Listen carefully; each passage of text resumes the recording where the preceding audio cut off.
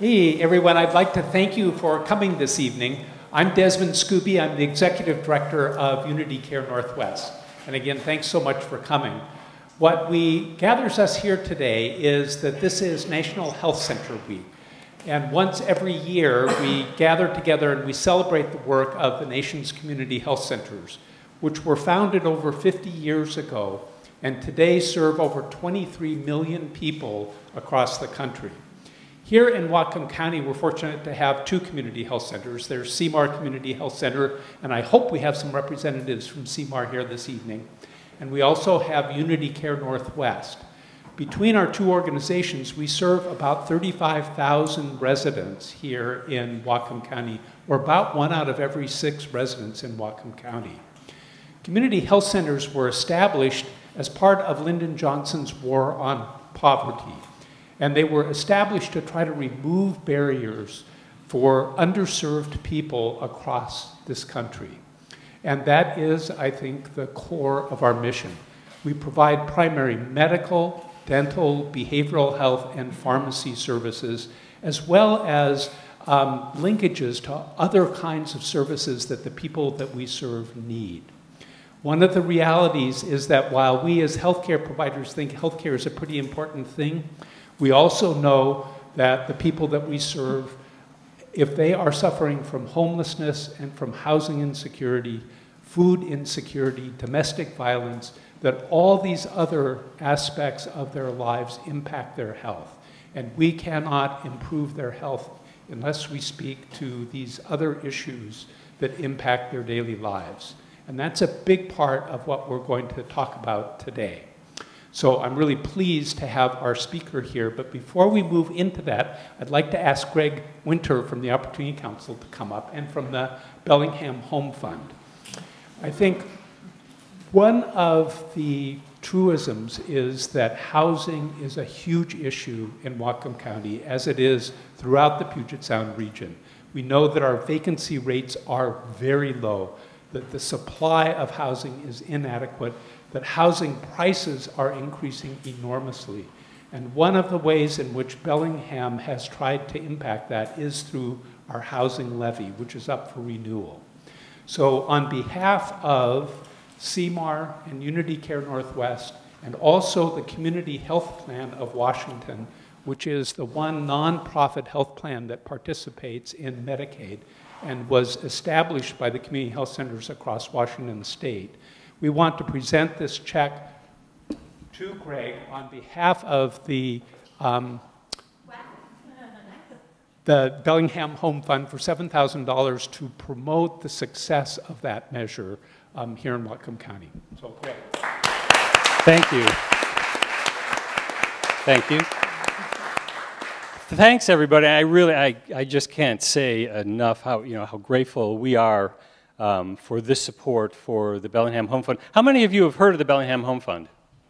All right, good. So the Bellingham Home Fund was passed uh, with overwhelming support in 2012 by Bellingham voters um, who shared um, our campaign committee's belief that um, everybody should have the opportunity to live in safe, affordable housing. That's really the foundation for good health. And what's so um, gratifying um, to me and my colleagues that over the six years that the Home Fund's been delivering over 700 new units of uh, affordable housing with great um, examples of showcase projects like Eleanor Apartments, Francis Place, 22 North, Via Santa Fe, and others. What's so gratifying is that over that six years, whether we're at incarceration prevention tables, behavioral health tables, healthcare transformation tables, everybody's talking about housing. Now, you could, you could paint that in any light that you want, but the good thing about that is, is that the support and the political will to do more about our affordable housing crisis is growing and growing and growing. And I hope you'll join me and um, the Neighbors for the Bellingham Home Fund Committee in supporting the renewal of the Bellingham Home Fund.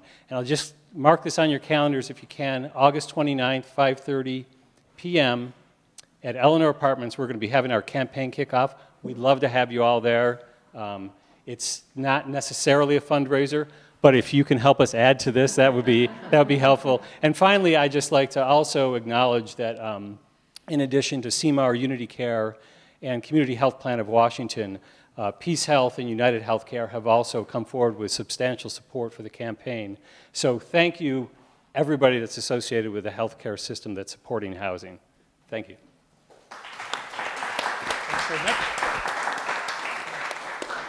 And I just say, as a healthcare provider, I think one of our challenges going forward into the future is how do we build a stronger web of services that isn't just about healthcare, but that links people to the other kinds of services that they need to live healthy lives.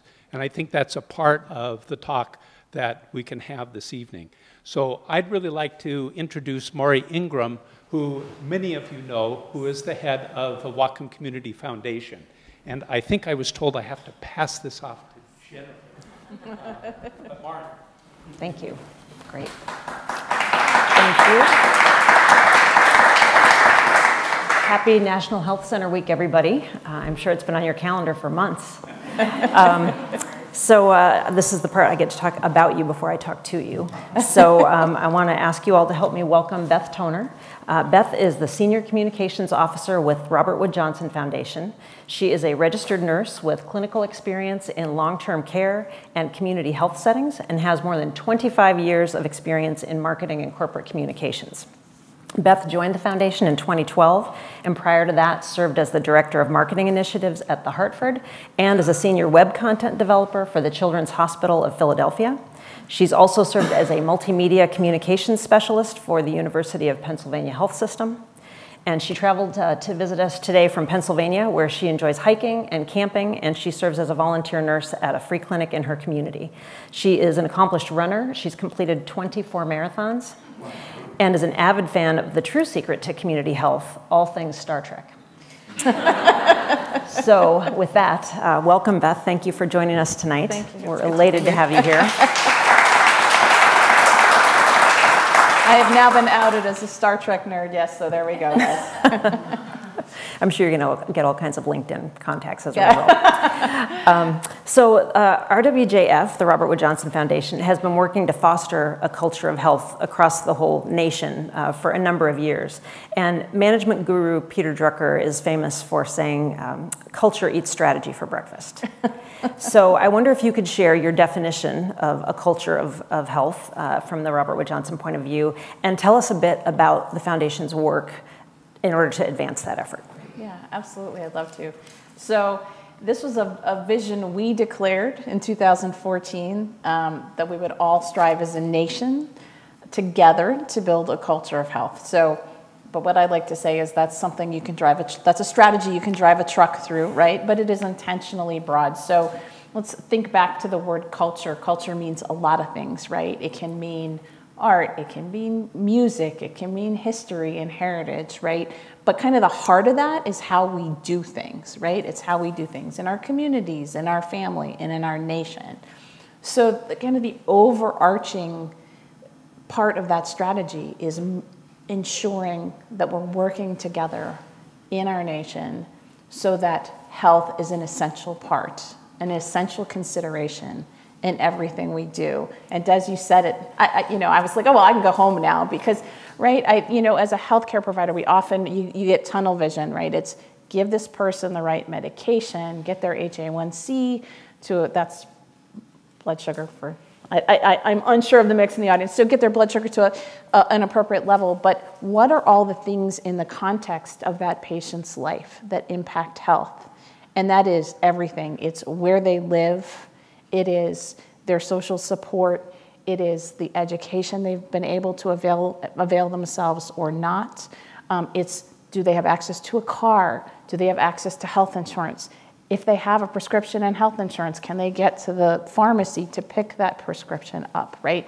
So it's understanding that health needs to be an essential component of everything we do, and it's, it's knowing that health, health is impacted by everything we do. Everybody can play a role in impacting health. So, and as we think about the work that the foundation does, so we're, we're split up into um, what I call grant making themes. So it reflects our conviction that health is affected by everything. We have a team that's focused on healthy communities. So, thinking about the context of the community, how can we build up the assets that exist within the community to make it a healthier place to live for everyone. Uh, healthy child. So we know that all the things that happen before a child walks through the door of kindergarten has can have a long-term positive or negative impact on their health. It's not just did they get the immunizations that they need, but do they have the social support at home? Have they experienced trauma? Have they been supported in dealing with the trauma in their lives? Um, leadership. We've been thinking a lot about lead, the kinds of leaders we need to get to a culture of health. And one thing we've come to in the new programs that we launched a couple years ago is that we need leaders who work across sectors, right? We need, yes, we need good nurses, we need good physicians, we need good social workers, but we also need to enlist urban planners. We need to enlist civil engineers. We need to enlist anthropologists in the mission of building a culture of health. Um, I want to make sure I'm not leaving it. Health and healthcare systems, right? That seems the most obvious one for the foundation and what's been our bread and butter um, since we were founded in 1972. But it's not just making sure that our healthcare systems are delivering value and that they're providing safe care. That's super important. But also, are they aligned with the needs of the community? Are they, are they serving the community in a way that will make that community healthier? And then we also have teams that are looking at kind of cutting edge and emerging trends. Uh, I actually supported that team for a while with communications. That was a lot of fun. Um, and then we have a team that looks across the globe. While we do our grant making in the United States, we do look across, we have a team that spends some time investigating models that are working overseas and finding ways to can we bring this here? Can it be sustainable here? So uh, we actually spent some time uh, talking to uh, a public health nurse who worked with the police department in Glasgow, Scotland um, and the police were confronting an epidemic of violence. I hate using that word because it's overused, but really just constant violence. What they found is that when they started bringing public health workers along on police calls, they started being able to address some of the issues. So it's not arrest this guy and put him in prison or in jail. But let's look at how we got to this evening where you picked up the phone and called the police. So, what's missing in this household? What ways can we support you to prevent this from happening again? From giving you the economic security and the social supports you need to, to not be a repeat offender? Um, so, th- th- cool learnings. Um, and then underpinning it all is the theme of health equity, right? So, not everybody has access to the same opportunity to be healthy. Um, where you're born, how much money you make, the color of your skin, your belief system can affect um, your ability to get and or stay healthy. So that is an important component of everything we do. Great. Um, so Whatcom County, as you know, because you've done deep research on this, um, is, is generally considered a pretty healthy place.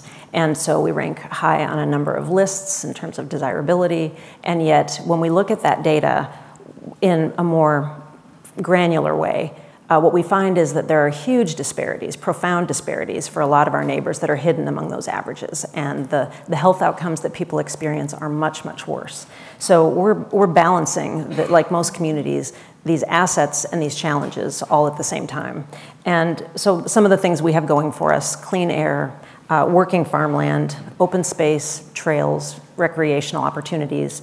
Um, we have a very strong bicycle culture. Um, school districts that are thinking more and more about this idea of a culture of health, even though if they're not necessarily using that kind of terminology, uh, I could go on. And then some of the challenges, though, are things like access to that healthy and local food, access to affordable housing, access to recreation, and just places to go and kind of be in the beautiful nature that surrounds us. So as we as we think about our comparison to other communities, what does that look like from your point of view? Um, so deep research. Yeah. I would. I, I, I am a. Re, I am also. I'm not just a Star Trek nerd. I'm also a research nerd. I love because I also spent time as a journalist, so I kind of dug into what I saw here. Um, so I'll tell you a couple of things. One is, and Mauri, I told you this uh, prior to us getting started, and that's that um, this county looks a lot like the county. So I work in Princeton, New Jersey, which is that is a whole other issue when it comes to inequity. But so I live in a county in, in Pennsylvania that actually consistently ranks at the top of the county health rankings. Um, but in that county, there is a pocket of, of poverty that can be easily hidden. Or I should say that those of us who live in comfort and privilege can easily ignore. It is not visible um, because it is not an, an urban setting, right? It's a very mixed setting, so we can we cannot see it. Um, so, but as you asked the question, you know, how do you compare? Are you starting from a place of strength, right? So, first of all, I'm just going to be jealous for a moment that you have two community health centers because the county I live in, we don't have any community health centers. Keep in mind, we're the healthiest county in Pennsylvania, but that is, um, but lots of folks who have access to healthcare by virtue of their income and their, where they live. Um, we have a patchwork of small community uh, or, or uh, volunteer run clinics. Um, one of them, the one I volunteer at. But we don't talk to each other, we don't coordinate care. So I'm jealous. So, in that regard, yes. Um, and you mentioned it, um, you live in the Pacific Northwest. Uh, you can't, this is a great place to be active. I mean, aside from the smoke outside today, which kind of stunned me when I got up this morning, um, you know, I, I got two runs in this weekend. The climate is amazing here. You guys can complain all about the rain all you want, but you don't have to shovel it. So, you know, this it's this is this is a great climate in which to be active. And every time I come out here, I'm like, oh, I, yeah, oh, I love it out here. Um, so yes, you have access, and it, and you do have. I was I walked around Seattle with my brother this weekend, and so many bikes and so many people out walking. And I will tell you, there are many communities where that doesn't happen, and I could see it even driving into town today. Um, and here's the other thing you're asking the question how do we compare? How do we stack up? What you guys are thinking about this. And that to me starts you from a position of strength. Um, so I looked at the county health rankings because I thought that was a good place to start. How many of you know where you rank in the county health rankings? I'll bet you do, Mauri. Show of hands, how many people know where you are or have looked at the county health rankings? There we go. Okay, so you're set. This year you were seventh out of 49. So that's actually really, really good, right? So I'm going to, because this is a room, how many healthcare providers do we have in the room? Raise your hands. Okay. So it's a good place to start looking at the county health rankings because what's cool about, and I, yes, I'm stumping for a project that's supported by the Robert Wood Johnson Foundation, but, but it's a good place to start, right? So I started by, I went to the website for Whatcom County and you can click on areas of strength. Um, so here's some of the things that are that you got going for you. One is the exercise component that we already talked about. So compared to other top performing counties, um, only 15% of adults 20 and over in Whatcom County report no leisure time activity. So even the most top performing counties, that number is at 20%. So everybody here is pretty active. So that's, that's good. Um, yeah, you still have an opioid problem but your deaths per 100,000. No, I don't, and I'm sorry, that didn't mean to sound that, that was, that sounded flippant. I did not mean to, but yes, you have an opioid. You're making funders look bad.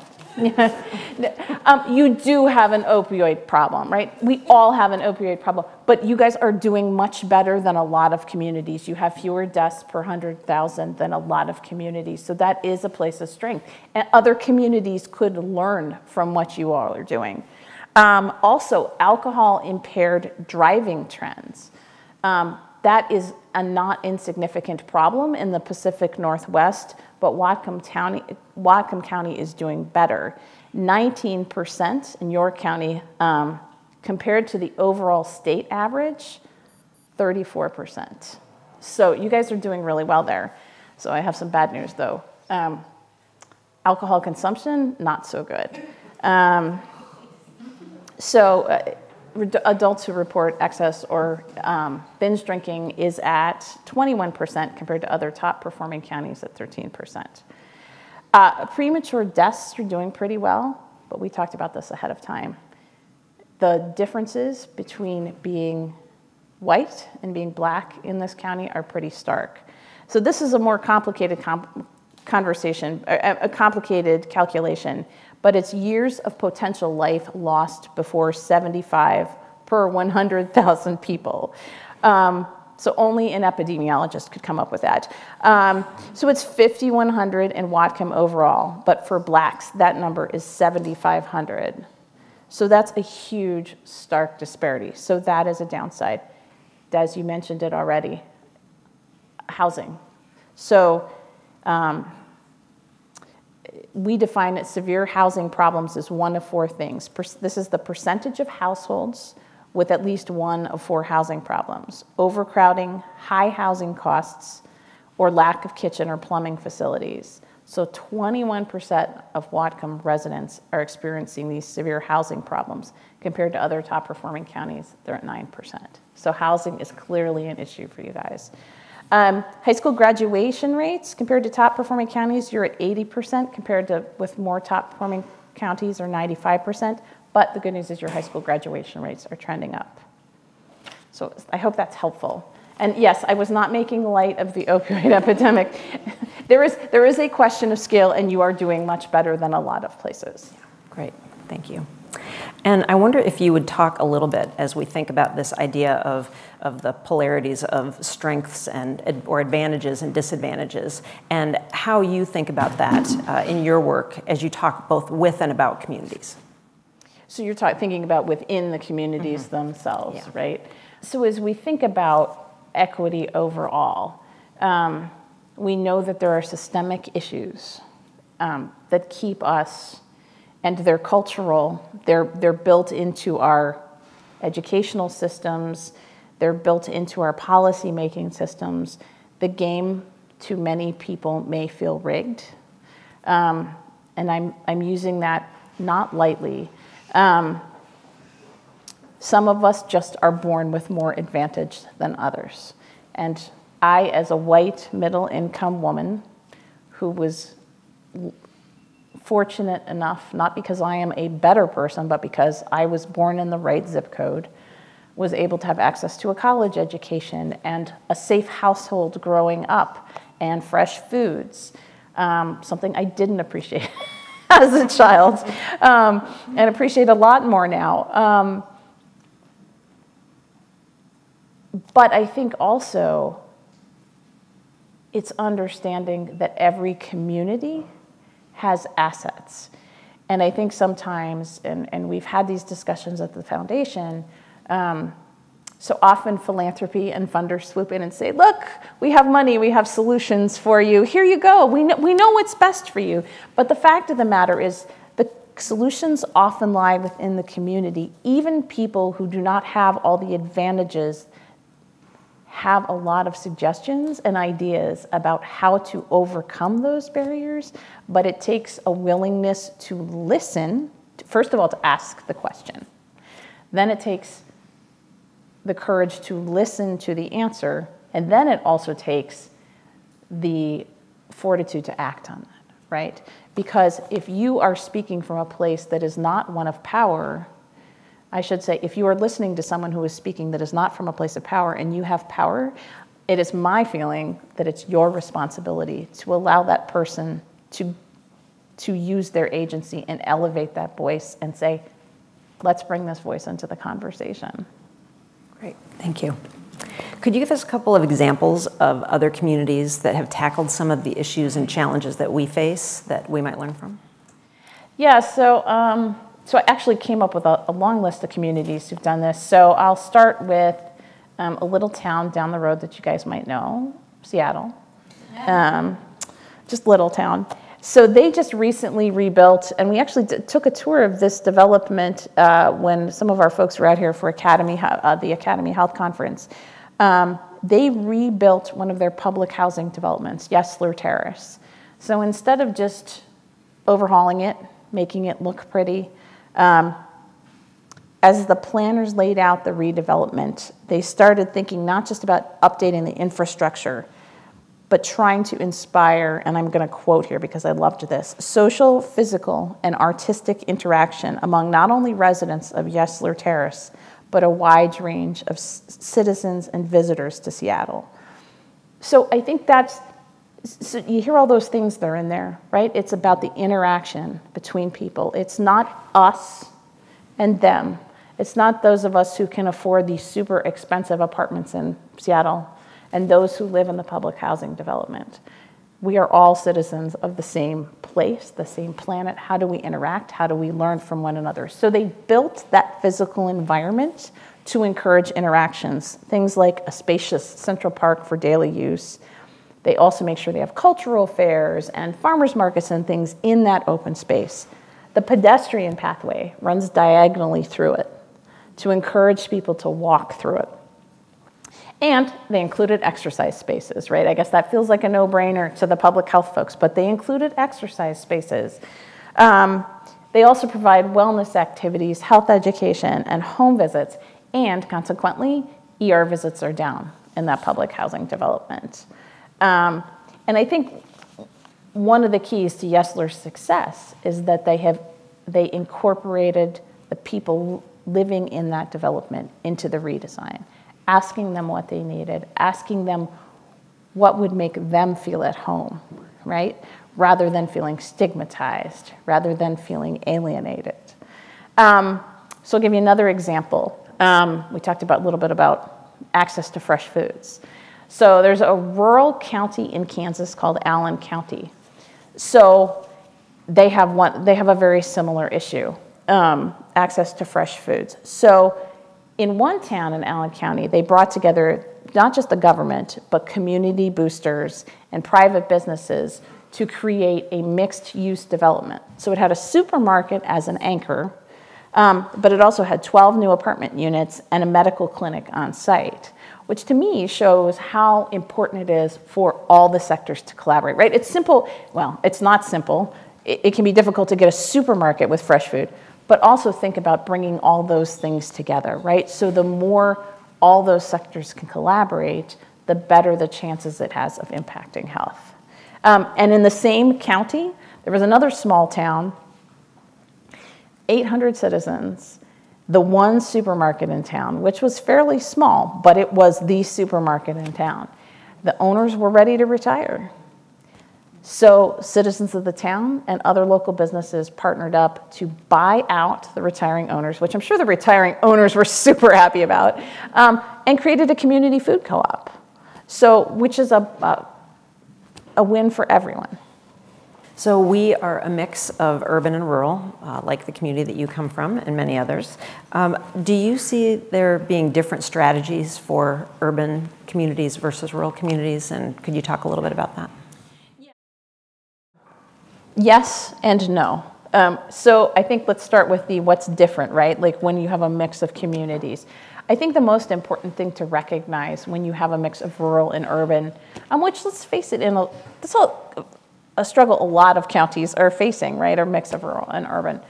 Um, it's uh, not assuming that everybody wants the same thing, right? So I think often when we live in a, a community where we have access to um, a lot of retail, a lot of education, all those things, we get very kind of self righteous. Okay, well, let's make sure we have a farmer's market, right? To somebody who lives in a rural area, I don't care about a farmer's market. I can't get to the doctor. Right? I, I can't, you know, it's a, and I, so I'm going to give you an example from my personal life. Uh, week before last, my husband and my 11 year old and I went to the Upper Peninsula of Michigan. So I grew up in the Midwest. I had actually never stopped in the Upper Peninsula, I had only driven through the Upper Peninsula. So I thought I knew rural. I've been to visit like rural Montana. Um, I was really astonished at how rural the Upper Peninsula of Michigan is. And I mean, I'm displaying my ignorance because I know, I imagine you have rural spaces that are that rural, but I'm talking about an hour without a cross street. Um, so the two staples of Upper Peninsula life are fried whitefish and pasties. Does anybody know what a pasty is? Oh, yes, okay. So it's a, a pastry filled with veggies, yes, and also meat and onions and potatoes. It's really, really good, but it is most, neither of those things are, are assuredly not health food. And if it's made, traditionally, it's made with a suet crust, so. yes, it absolutely is, and boy, it is good that way. And don't forget, they also serve with gravy or ketchup, which that's a discussion for another time. Um, so we were there about five days, and my husband just declared, I need a I need a salad. So we went to the grocery store in Munising, which is on the north side of the Upper Peninsula on Lake Superior. And I will tell you just the, first of all, there was not a big selection of fresh vegetables, but they were so expensive. Um, and we were on vacation and we had vacation money to spend, right? So, what is it like to live there day to day and make those? But my husband also can't not talk to people. So, every place we went, he would say, So, did you grow up here? What do you love about being here? What do you not love about being here? And we talked to this uh, man who was probably eight, eight or 10 years older than I was. And he and his wife had moved to the Upper Peninsula. And for him, he said, My wife hates it here because she has to drive an hour to Sault Ste. Marie to go to the doctor. So, right, it's not, you have to ask what's important to you, right? And not assume what is important to others. So I think that when you've got that mix, you have to have the rural and the urban voices at the table when you talk about how to plan as a community to improve health in the county. But having said that, uh, we recently funded some work studying kind of the bright spots in Appalachia, which is writ large, is fairly rural. Um, and one thing that was really interesting is that in the places, the rural places where health outcomes were better than expected, there were some things that were pretty consistent in both rural and urban communities where health outcomes are good. Everybody was engaged, right? The community members were engaged in policy, uh, you know, policy advocacy. There was a lot of volunteering going on in the community. Um, there were strong social connections schools, churches, um, there were barber shops and other agents of change like local ministers. So they were all engaged in the in the in what I call the health making process. Um, and they had good anchor institutions, right? Whether you're rural or urban, you need strong businesses, banks, schools, and hospitals. So I think it's a it really is a mix, right? It's knowing what is unique and important to each part of the community, but also knowing the things that are critical to success, whether you're rural or urban. Great, thank you. So there are multiple and formidable uh, systemic barriers to sustaining a culture of health. Um, racism, sexism, financial interests in maintaining the status quo, um, limited perception of what's possible, whether that be at the policymaking level or on the ground uh, in communities, and, uh, and then the generational patterns of poverty, and we could go on. So, what are some of the ways that you've seen other communities work to overcome these? Um, so, I'm going to start by telling you a story about Vicksburg, Mississippi. Um, so, in, how many do we have any Civil War historians? so, Vicksburg, 47 day battle was considered by many to be a turning point of the Civil War. Um, let me pull up, I won't have to pull up my notes on this. Uh, nearly 20,000 dead. Um, but it did, it was turned the tide of the Civil War. Many people think it did. Um, so there is now, as there is with many Civil War battlefields, there is a, a memorial park to that, a national military park.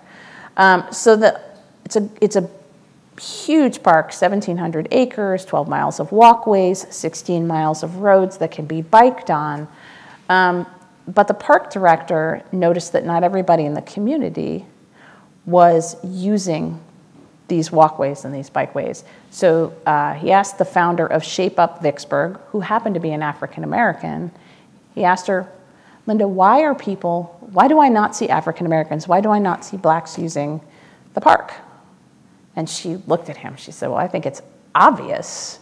She said, I feel, we feel that this park commemorates slavery and commemorates the systems that have oppressed us. And he was totally blown away by that. So he stepped back and they organized during Black History Month a shared walk. Um, and I want to read, read to you some of what he wrote. Um, our shared history, our shared community, and our shared health. So Rangers led a walk um, past the United States Colored Troops Monument, representing African American soldiers who fought on both sides of the war, and the Vicksburg National Cemetery, which includes 7,000 black soldiers. The Rangers told the story of the Battle of Milliken's Bend, just across the Mississippi, where African American troops engaged in hand to hand combat to defeat Confederate attackers trying to seize a depot. Um, and it was so, first of all, people were blown away. They didn't know this piece of history existed. It opened up an opportunity for dialogue, and this walk has become an annual event. but it started with a question, and then it followed with a conversation, and then it followed with a commitment to action. Um, so I think that's, I mean, that's, that's, a, that's a really good example, but where it, and we talked about this a little bit before we got started, it comes back to narrative, right? So I was, an, I was a writer before I was a nurse. I was a journalist before I was a nurse. But narrative allows us that storytelling, that curiosity, brings down the barriers that we throw up and that systems throw up around us, right? Our, our, our living in separate communities throws up around us. It allows us to be curious and get to know other people as human beings, right? Um, if I can be curious about what drives you, if I can know the context of your life, then we are much more likely to be able to work together and find the things that both make us unique and different and that enrich each other's lives, as well as the things that we share. And we've been having a lot of conversations in different venues around the topic of equity and, uh, and race and racism uh, in this community. And one of the things that's been interesting in talking to people, and it's certainly been true for me as a white female, uh, is that most of us that are white realize when we get into these conversations that we've just simply never had to think about our race. It's not a way that we've defined ourselves. Um, so I wonder if you could talk a little bit about the experience that you've had in communities in exploring that and what it looks like. Um, you know, I think we've had a lot of talks about this internally as well. I will tell you that at the foundation, we have had to talk about the fact that we are uncomfortable talking about race. Um, and, and all the other isms, right? But yes, um, I never have to worry when I drive through a community late at night that somebody's going to think, view me as suspicious, right? So I think there's a couple of things there. One is I think we need to become comfortable saying we aren't comfortable talking about race. Uh, and I have an African American coworker, and I said, I actually said that out loud. I said, I'm often afraid to talk about race because I'm afraid I'm going to say the wrong thing and do the wrong thing. And she's like, oh my God, that's such a start. She's like, I'm afraid I'm going to say the wrong thing too, right? So I think it starts with let's all acknowledge this makes us uncomfortable. We, I think so often we, we go straight to the divide, right? We focus on the divide and not on our shared discomfort. So it's opening up that dialogue. Um, I think it's also taking advantage of teaching moments, right? So those of us who are born with advantages, I call it the uh, next generation doing the next ge- generation one better, right? So with my kids, we talk about those things. Um, you know, if I see an inequity that's based on gender or race or sexual orientation, have a conversation about it. Um, say what you know. I actually my my 11 year old said. Have you noticed that a lot of the people who seem to get beaten by police are African American? While we were watching the news. And that's a hard conversation to have, right? Because it's really complex and it's really divided. But instead of saying, you know, immediately going to the to the lecture, be, I was curious with my 11 year old. So tell me what you're thinking. Tell me what you're thinking about that. Tell me how we might think about changing that. You know, so I think it's uh, to me, it really is looking at those teaching moments. And then I think the other piece is it's acknowledging our discomfort.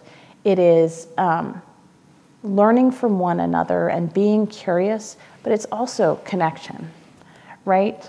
Um, finding those moments when you interact with somebody at the grocery store. It's so easy, and I'm guilty, so I should probably step down off my soapbox, but you know, you're in the checkout line, you're checking email, you're checking text messages, and the cashier is checking you out. You know what? Take a moment, put down the phone, make eye contact with that person. How are you? Now, really, how are you? And be prepared to listen to the answer, right? And understand just a little bit of the context of that person's life. And I know that sounds I'm aware of how Pollyanna it sounds, but what if we all made two of those connections a day, right? Instead of flying into a rage or getting frustrated because the person ahead of us is going a little too slowly, instead made that human connection. I think that's And when it comes to the isms, we're also playing a long game, right? This, we aren't going to win this, we aren't going to win the battle against sexism and racism and all the isms overnight. And it's not one battle. It is those, it is curiosity, it is teaching moments, it is kindness, it is empathy, it is connection. And the more we commit to it and the more intentional we are about it, and the longer we do it, I think the better the chance we have of overcoming them. And it's remembering that none of us is just one thing. That's exactly yeah. right. I am not I am not just a, a nurse. I am a mom. I am a writer. I'm a person who gets anxious when I have to go on long drives when I don't know where I'm going. And understanding those things about people. And it goes back to, it does go back to curiosity, I think. So you talked a little bit about the importance of working across sectors. And we as a community are really working, and you've already, we've already touched on the fact that we've got some exciting things happening around the affordable housing front. Uh, we are fortunate in having two uh, community health centers. Uh, we've got a, a, wealth of resources here in many, many ways. And could you talk a little bit about the role that you see for policymakers and business and education? Because those are often, I think, maybe education to a lesser degree, but those are often areas that we don't pay enough attention. Yeah, and I think it's hard. I think it's hard, difficult in many communities. So I'll start with policymakers. Um, I think you just have to look at Flint as a case where policymakers and it's, it's an incredibly stark example, um, and there are countless other examples that happen all, all across the United States, but where a policymaker's decision, based truly on a dollar figure, had such an enormous impact on the health of a community. Um, I just finished reading uh, Dr. Mona Hanna-Attisha's book, and I have to, What the Eyes Don't See. So if you are at all invested in public health, you need to read this. It's, she was the pediatrician who was the whistleblower in Flint. Um, and they, the community had to come together to raise the, sound the alarm. Um, but what if, I just like to ask what if? What if instead of making that decision based solely on dollars, what if the policymakers had asked, okay, so who's not at the table as we're making this decision? Do we have an epidemiologist in the room? Do we have a civil engineer? Um, do we have an architect? Who are the people who would understand the systems that we are about to impact? Um, and how should we think about this decision? Um, so, and I think that is a key to policymakers doing a better job with health is asking who's not at the table, right, when we're making these decisions. And also, as we think about being health healthcare providers, as we think about being community organizers and other civically minded people, community members, it's also important to know how your policymakers in your community process information and take it in. When we talk about playing the long game, it's starting to learn the way policymakers make decisions and get ahead of that, that snowball before it turns into an avalanche. I was at a conference in the spring at some point, and there was a, I was moderating a panel, and there was a policymaker on the panel who had been a researcher. She told us she schedules meetings in five minute increments. So if you want to impact a policymaker's decision around something that will impact health, which by the way is just about everything, you better be prepared to give your speech and do it quickly, right? And have your facts straight.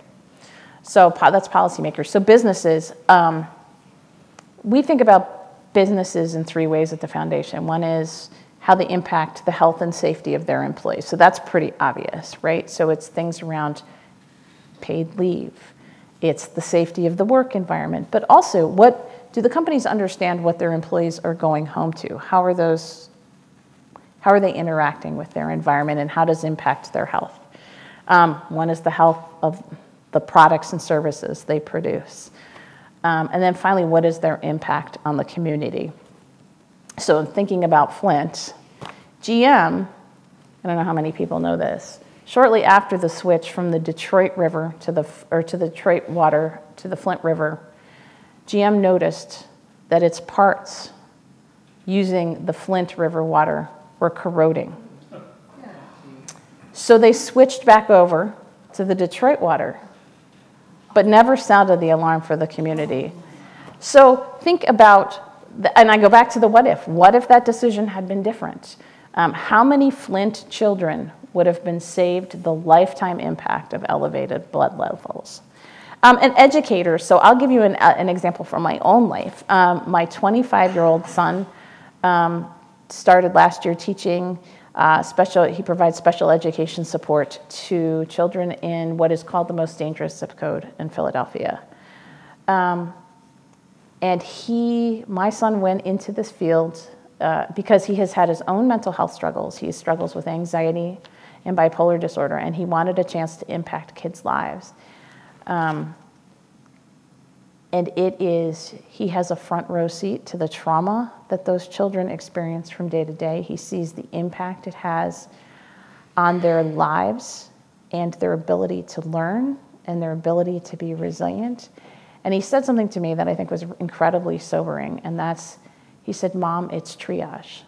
I have to pick the kids I know are more likely to survive and to help them overcome their. There are some kids I don't know if I can reach.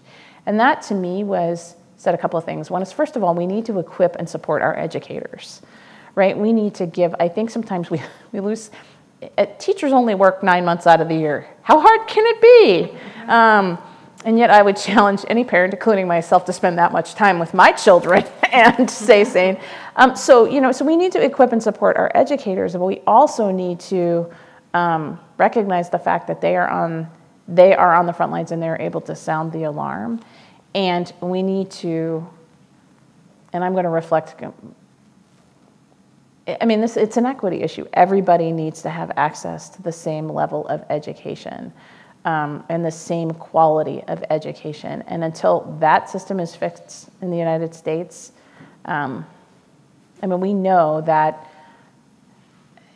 you think about early childhood and the impact that adverse childhood experiences have on a child's physiological system, right? Their health as well as their ability to learn, and then how it impacts their education down the line. And we know that adults who have only a high school education at age 25 have at least a nine year lower life expectancy. And that should be unacceptable to all of us. So I think I hit them all. Yes. You did. Uh, and you touched on uh, this notion of preparing and equipping uh, teachers in particular. And have you seen communities do the same when it comes to elected officials and other policymakers? Oh boy, that's a really good question. I think there are communities where the policymakers have learned to start asking the questions. Um, I think I think we are seeing more people being engaged in either becoming policymakers themselves, right? I think that you've seen the groundswell of women becoming um, engaged in the policymaking movement. Um, I, think we're still real early with helping people under helping policymakers understand.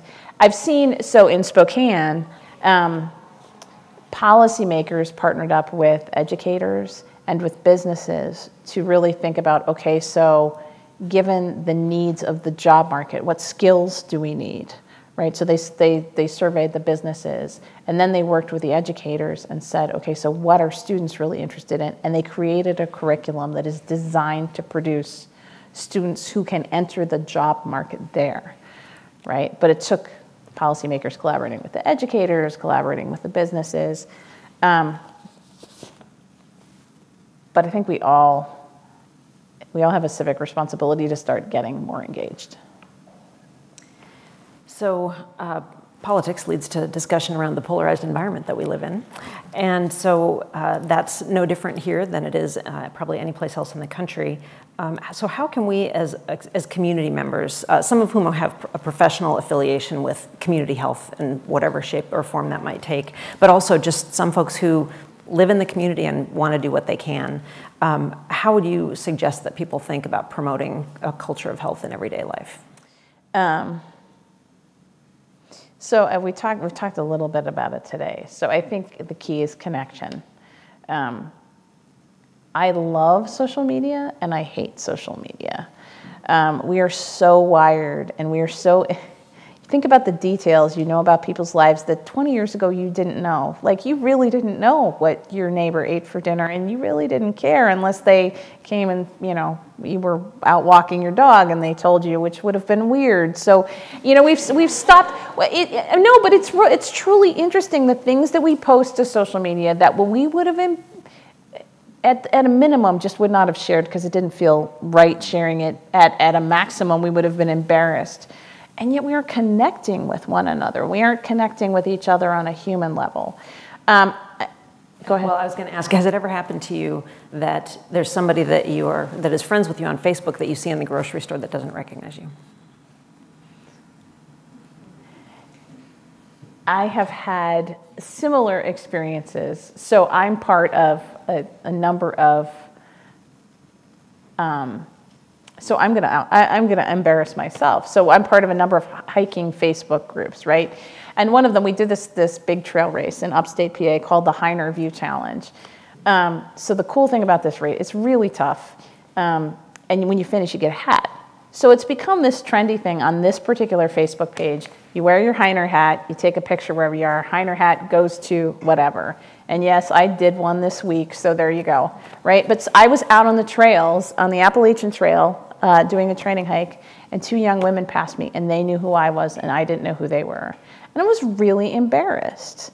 I thought, now, what if instead at a race I'd taken the time to get to know them? Now, I do know them now, right? So now we're all connected, and when I see them at races. But yeah, I mean, I think uh, social media, and social media can be a great organizing tool. So I don't want to say that it is all bad, but I worry sometimes that it has become a surrogate for real connection. Um, so I think also we need, I think it's absolutely essential as community folks to think about when raising your voice when it's time to design a new public space. I mean, this space is a fantastic place for the community to get together in. Is it accessible to everybody? Does everybody know it's here? Is everybody welcome here? And I mean, not just mean are they welcome on face value? Will they feel welcome? Have you asked them would they feel welcome in this place? Um, we've been the, the foundation's been thinking a lot about inclusive placemaking. So how do we build places and spaces for people to connect? So think about the playgrounds. Is it accessible to everyone of all abilities? Is it accessible to young people who have difficulty processing things since sensory information, right? Um, but it's important to have the conversation, right? And to build trust within the community and have those conversations early. Um, and then the other thing is just being open to change, right? Dynamics change over time when you think about the places and spaces that people connect. So be willing to rethink it. If something doesn't work, that's okay. How do we fix that? Listen to the voices in the community to say, hey, this, is, this isn't working for me. And at the micro level, the individual level, what do you do to build your own empathy and compassion muscles? Because I'm, I do some of this work and I'm constantly trying to figure out how I check myself because I too have those reactions, those, I make those assumptions about people that I might see and figuring out ways to create triggers or pause points. What do you do? What do I do? All right, so I, here's one thing, and I was, I talked to my community health clinical students about this. One is change your perspective, right? So if you normally drive through your community or get out of your vehicle and walk, right? Um, or sit down and look around. What do you see when you sit down? What, what happened? And it seems really simplistic, but change your perspective, change how you process something. Um, so I start there. One is um, I'm really guilty of reacting. You know, it's somebody's in front of me in the supermarket line. Oh, it's taking so long. I just want to go home. You know, so I, I mean, I actually have made a, a, a resol- I made a resolution this year to try to a, take a deep breath, right? Okay, first of all, let's talk about the scale of this problem. It is really not a big deal. But I think we do. We get, I, I mean, I don't know, maybe you all are better at this than I am, but I'm terrible. I, you know, I, I get so busy, I want to check things. I think part of that comes with being a healthcare provider. You get to the, the task mentality. I'm going to check this off. I did this, I did this, I did this. Um, take a deep breath. How important is this really? And then curiosity. Why is this person moving slowly? What kind of day did they have? I don't know what that person, what, what happened when they got out of bed this morning? Did someone, maybe they lost someone in their life today.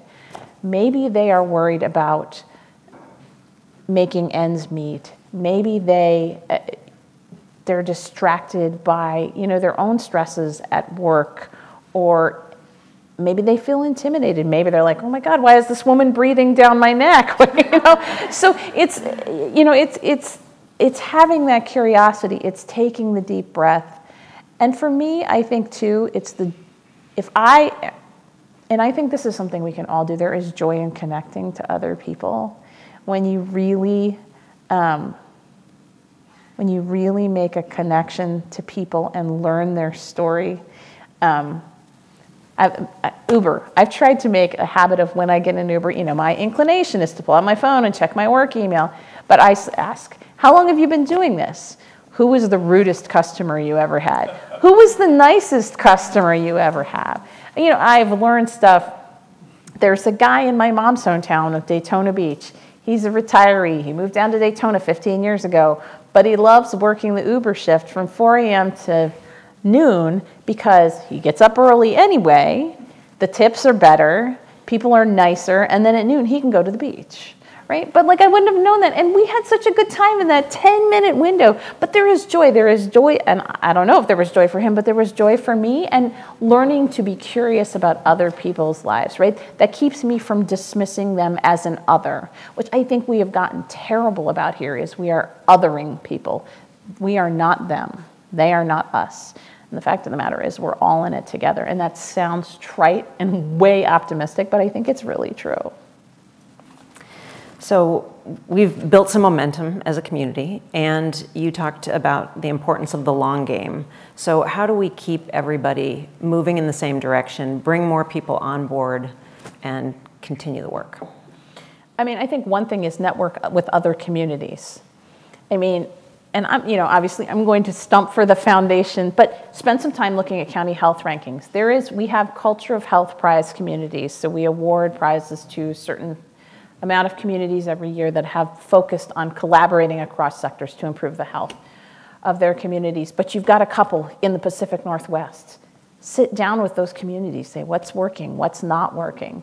Um, network with the next county over, for goodness sake. That works too, right? Um, I think the other thing is there are many other things, but developing leaders and investing in leadership development. So we talked a lot about we talked a lot about civic engagement and the citizens taking it up. But if you see, uh, particularly young folks, right, who are starting to engage or curious, look at what happened after Marjory Stoneman Douglas. Um, that gave me, you know, we get so cynical, but it gave me so much hope regardless of where you stand on the issues there, the fact that young people were able to mobilize in a way that older people hadn't been able to do. So, how do we develop folks who are showing signs of engagement? How do we give them the tools to become their own best advocates, right? Because everybody has that agency. We just need to give them the tools to use that agency. Um, and I think it's teaching people like that. I've mentioned our leadership programs. That for me has been just a real eye opener watching people come together from we have some two programs that work they have to come in as teams. Um, and we have a, a program that pairs t- teams of three pairs two researchers with a community organizer. And watching researchers and community organizers come together is really exciting. Um, so i think investing in leaders and making sure that people are really collaborating um, and providing the spaces for that for folks to collaborate. So I think that starts with, and I said it earlier, who's not at the table? When we sit down to make a decision, who's not at the table? Which sectors? Who who is this going to impact? And the answer often is everyone. Who is not at the table? And are we Are we talking in a space that's going to allow others to feel safe in speaking up? And what tables are we not at that other people are holding? Yeah, absolutely.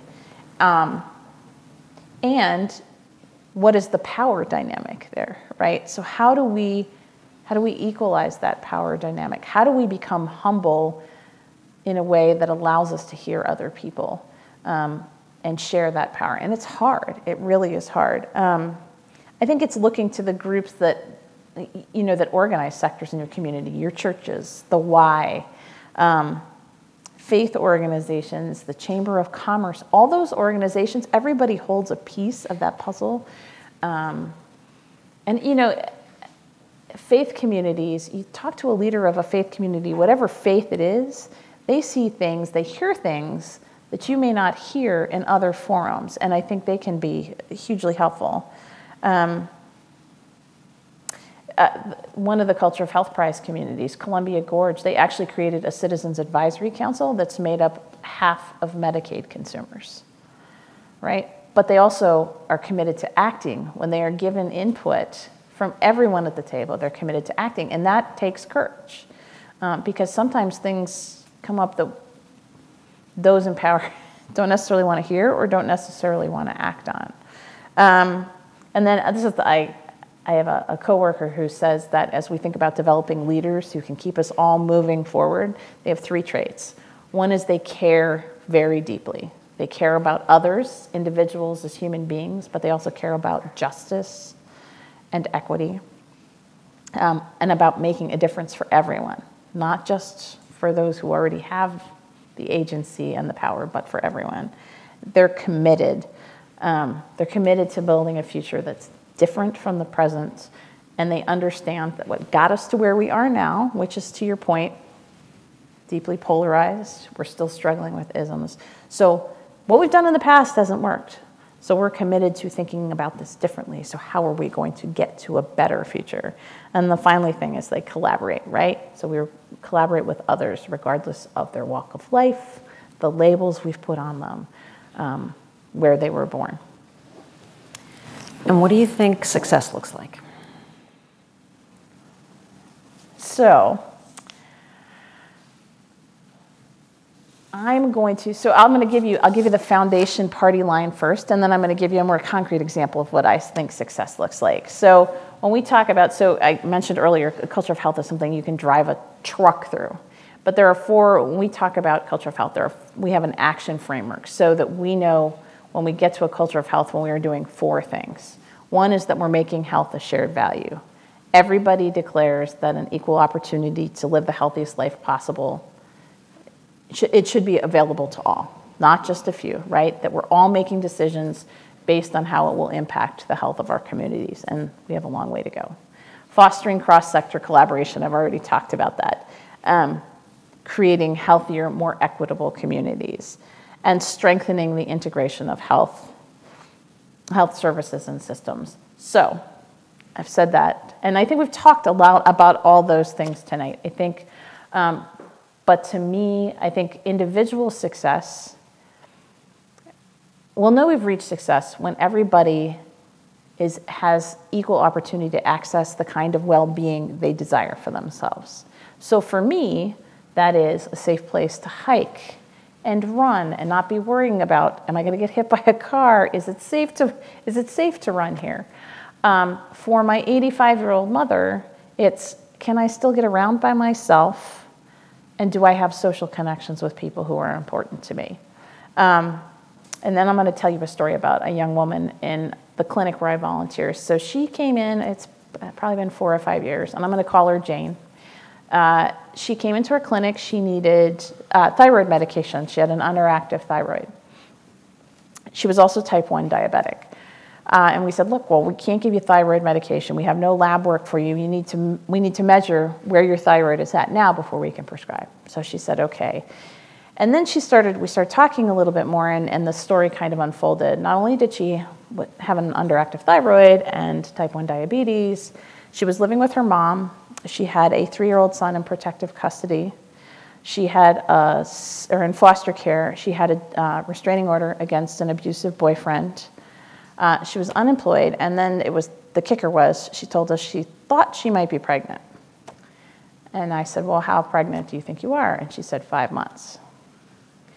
So we did a pregnancy test, and she was pregnant. So we said, Look, here's a slip, go get your, th- your thyroid, get your blood work done. And also, here's a referral for free, and I'm emphasizing free, free prenatal care. You don't need insurance, you need nothing, you don't have to provide documentation of citizenship, none of that. Um, she said, okay.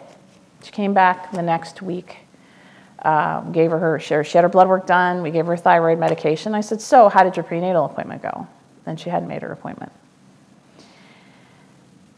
So I took a deep breath and I said, Look, I said, I understand the system can be overwhelming, and I, I know that you have other things that you are concerned about, but this is not important, not just for your baby's health, but it's also important for your life. You have type 1 diabetes. This could endanger your life as well. And I said, Please tell me that you'll make an appointment this week. And she said, I will. So I said, Look, I'll be back in the clinic. This was a Saturday. I said, I'll be back in the clinic on Wednesday. I'm going to call you and find out how your appointment went and just see how you're doing. She said, Okay. So Wednesday, I came back to the clinic and I called all three of the numbers she had left for us, and all of them were disconnected. And we never saw her again. So I sat down in our medication room and I cried because I was frustrated. I was frustrated at her. I was frustrated at myself for not having been able to help her.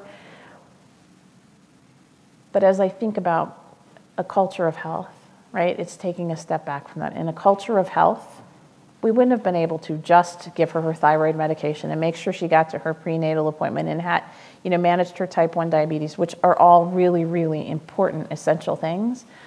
But we would have been able to give her access to put, help put the systems in place to allow her to get an education, to get her job training, to get her um, get her a car, public transportation, ways to get around, and also to tap into her own innate strengths and resilience. So, what I didn't tell you is she was, boy, we started talking about her type 1 diabetes. She'd been managing this since she was seven.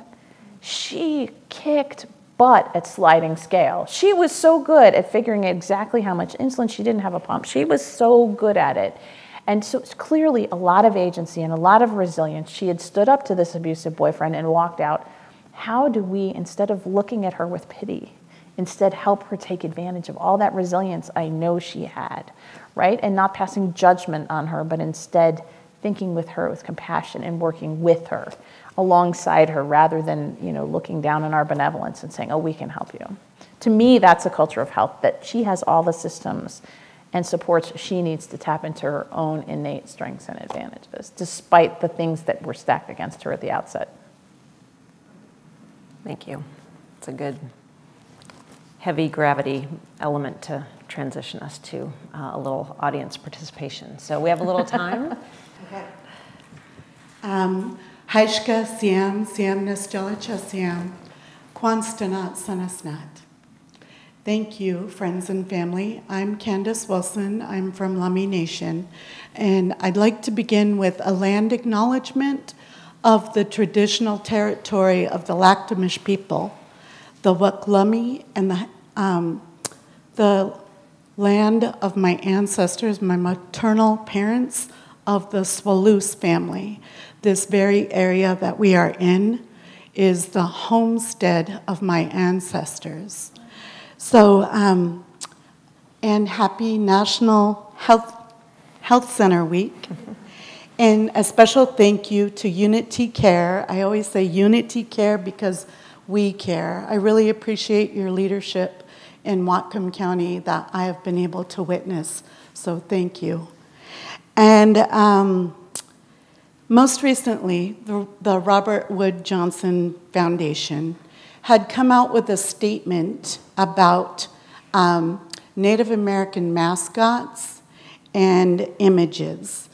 And there's an article in Indianz.com about reclaiming Native truth. Why we cannot support racist mascots and images.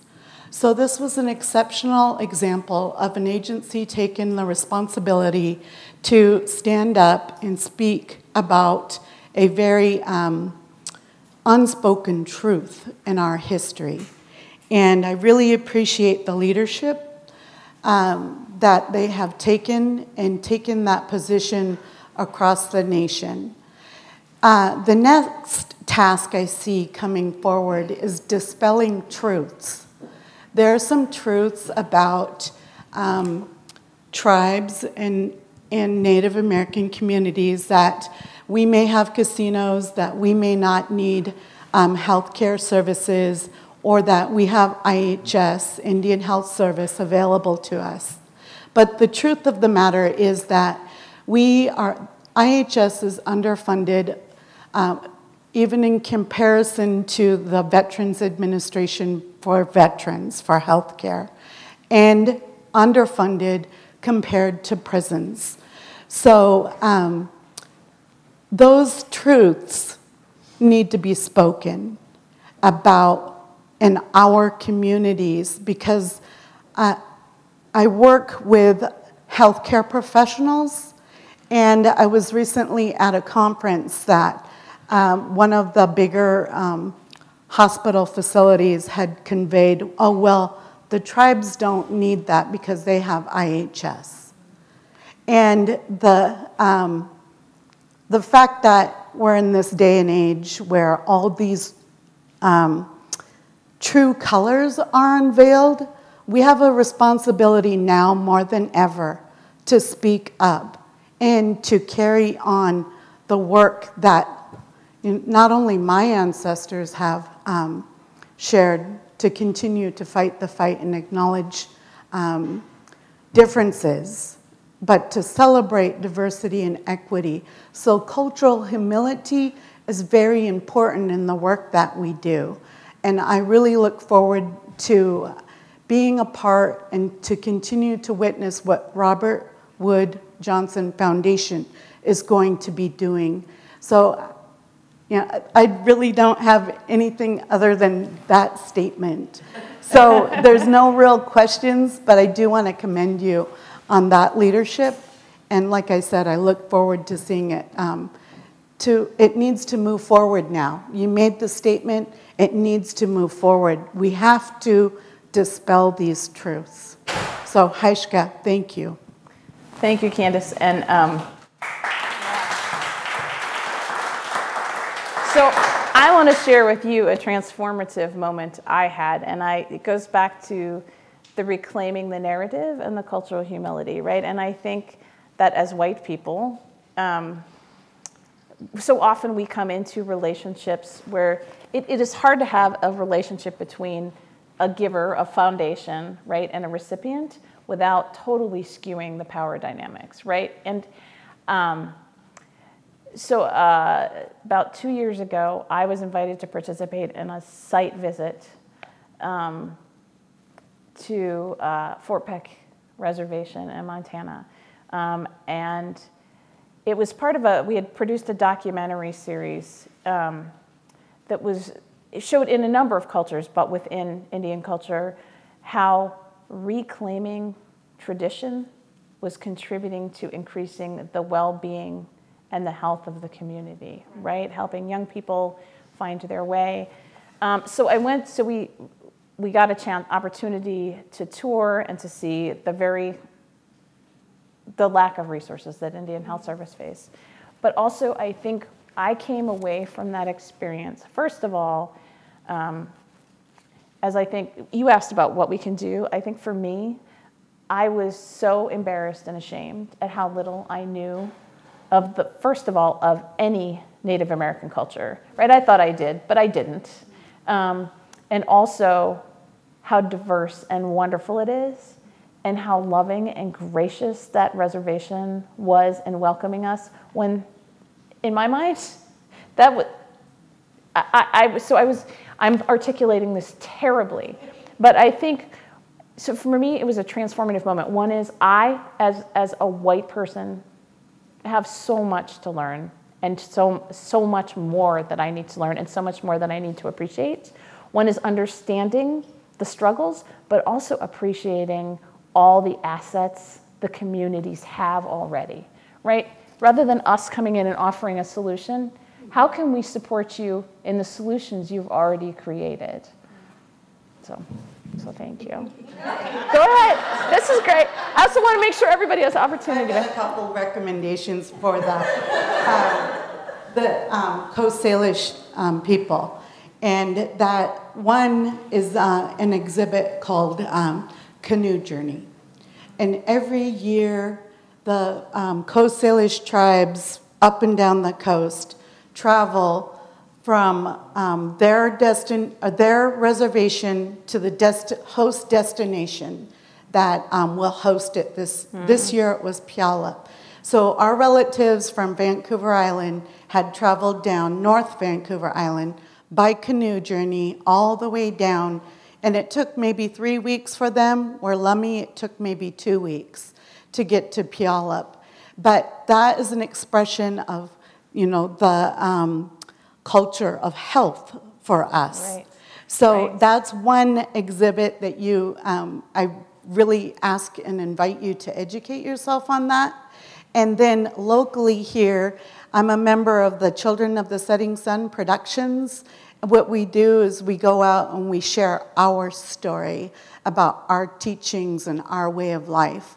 So I invite you to look at both of those, and I look forward to communicating, collaborating, and coordinating with you. So, Haishka, thank you. Thank you. Thank you for coming. Um, I'm Mark Pearson, a longtime uh, resident of this community, know some of your colleagues. Um, This community is starting to look seriously at trying to do something about a culture of incarceration. And I'm just wondering, with your travels and your experiences around the country, if you have any uh, uh, optimistic ideas or experiences where uh, punishment can be recast uh, so it's looking at health. Yeah, and we have, we've had a lot of conversations about this at the foundation. So I will tell you what I've seen um, that I think is hopeful. Um, one is the restorative justice movement. Um, I think the, so restorative justice for, um, and I'm going to do a terrible job of defining it, but it is the idea that it is a spirit of reconciliation between offender and victim. Um, it doesn't exonerate the offender for the crime, but allows there to be a human connection where it's safe and where it's possible between the victim and the offender.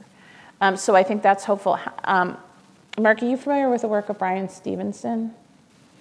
So this is a great book to read. Bryan, Bryan Stevenson came and spoke um, at the foundation about, oh, probably a year, little over a year ago. He wrote a book called Just Mercy.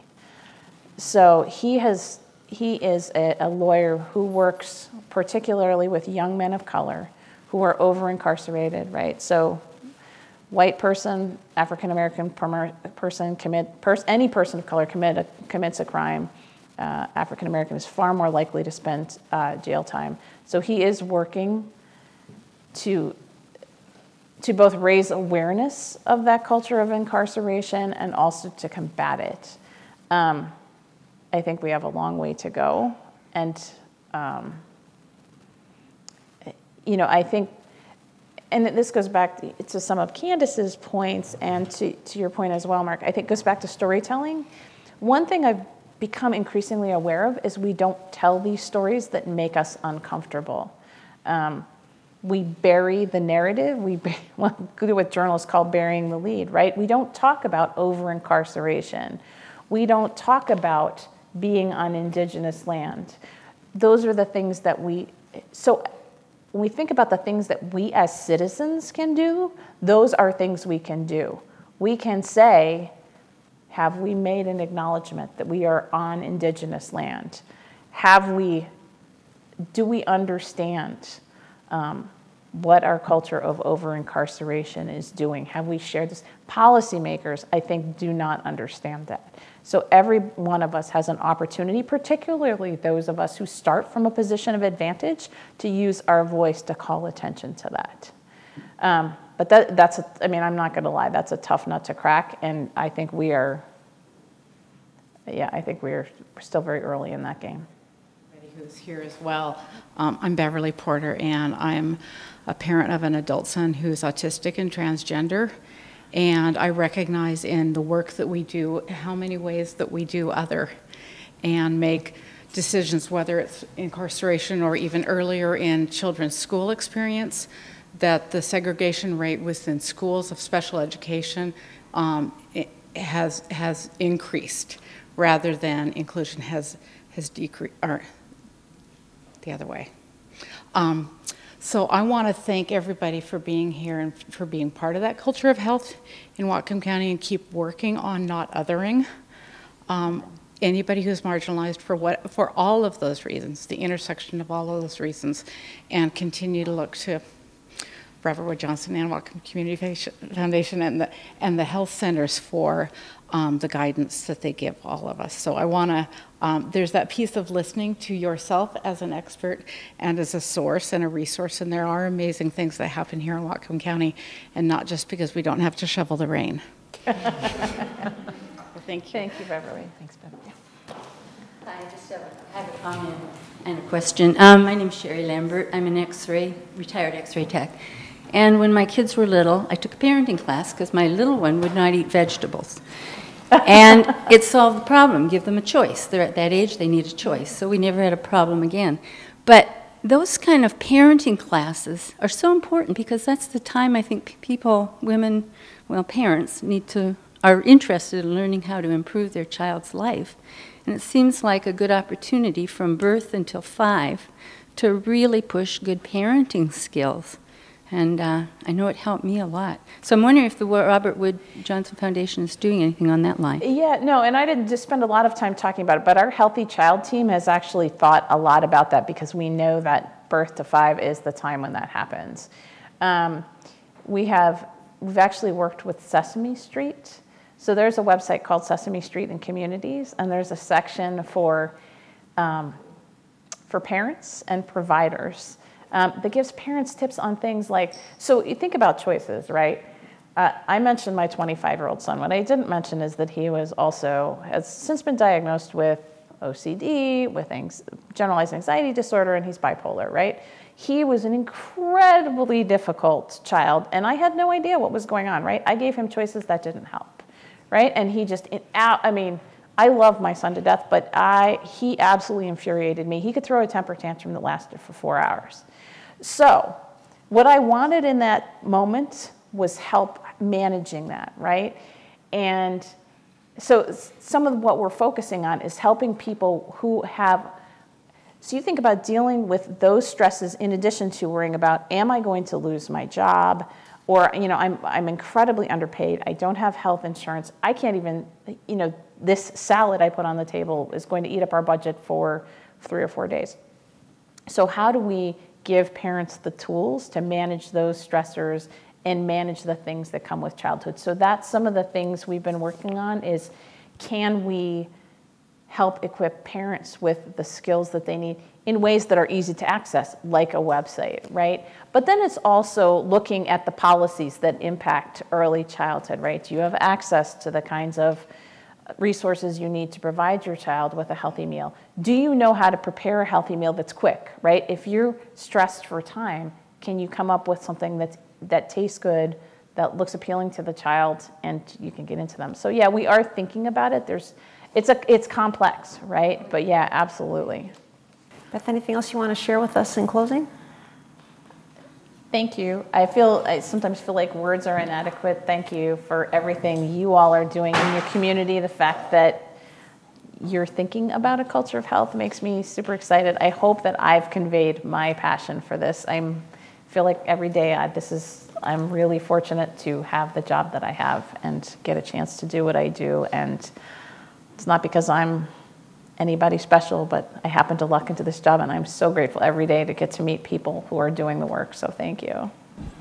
I'd like to ask us all to thank Beth Toner and Mauri Ingram for this evening's event. So thank you very much.